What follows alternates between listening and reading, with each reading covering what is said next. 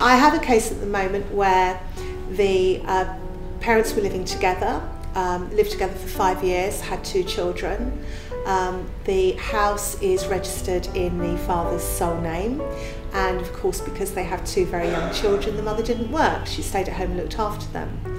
While the mother was in hospital giving birth to the youngest child, which was earlier this year, the father changed the locks and evicted her from the house. Isn't that shocking? So the father changed the locks and evicted her from the house. She found herself in hospital having just given birth to their infant child, homeless.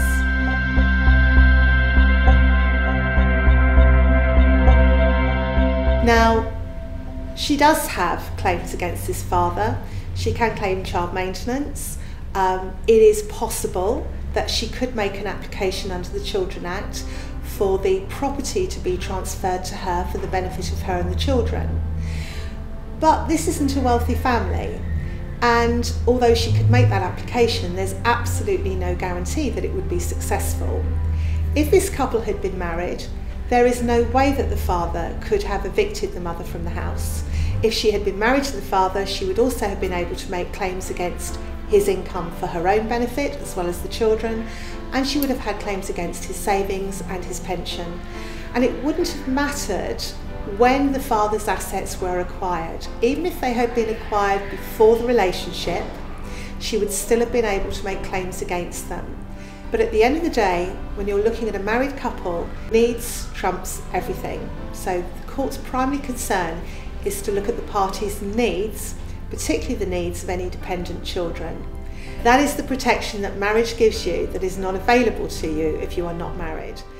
When my daughter got pregnant with her first child and she was living with her partner, the first piece of advice I gave her was to get married. Marriage isn't for everyone.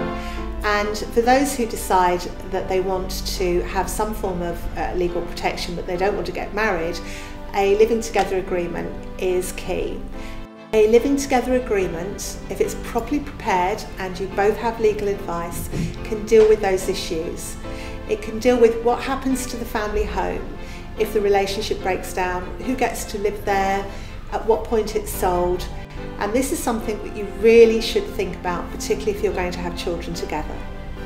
So if you have a living together agreement and later decide to get married, there's no reason why you can't use that living together agreement as a prenuptial agreement if the circumstances are right.